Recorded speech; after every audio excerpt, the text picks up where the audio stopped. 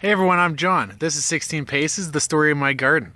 One of my goals is to do things that will enhance environmental sustainability. Let me share a few of the things that I'm doing to accomplish that goal. The soil is where I'm making the most positive improvement. You see, last year when I decided to start a front yard garden, it was too late in the season to really start. Uh, but I started making some compost. Now, I had this creative idea. I knew I'd need a lot of compost, and I didn't want to pay for it all. So I went to the grocery store and I asked the manager if I could have uh, all the organic waste that they were just going to throw away. And he said yes.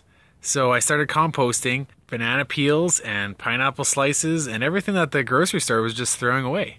Now, before I show you my compost bin, I want to explain that I built the entire thing out of scrap material. And the way I see it, I recycled that wood and I gave it a new purpose in life. Here's the abomination. Just a bunch of scrap wood that I screwed together. But you know what? I'm accomplishing two of my goals.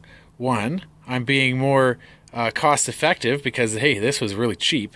And two, I'm being more environmentally sustainable. Now, there are some truly remarkable advances in restorative and renewable technologies happening right now. But until these truly sustainable developments occur, we will need to embrace solutions outside of technology to help us meet our sustainability goals.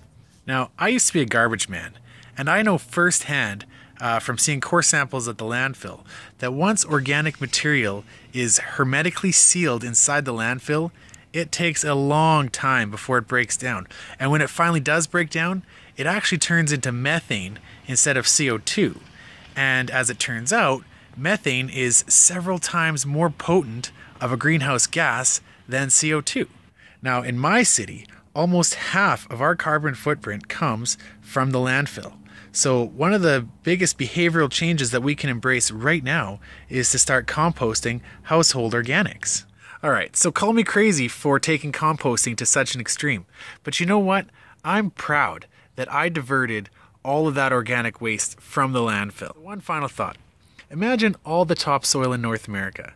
Now, imagine that every year at harvest season, uh, a percentage of that gets turned into food and then shipped to market, ultimately ending up in either landfills or in the sewers. Uh, every year, we deplete more and more of our soil and, uh, and lock it up for thousands of years by mixing it with all the toxic chemicals that we throw away with it. Uh, so keep that in mind. The next time you throw away carrot tops and orange peels and, and egg shells, uh, along with the rest of your household garbage, the plastic and all that stuff. Uh, it's going to be locked up in the landfill for a very long time, and those nutrients aren't going to be cycled back into the soil. So, thank you everybody for watching. Uh, I look forward to hearing your feedback.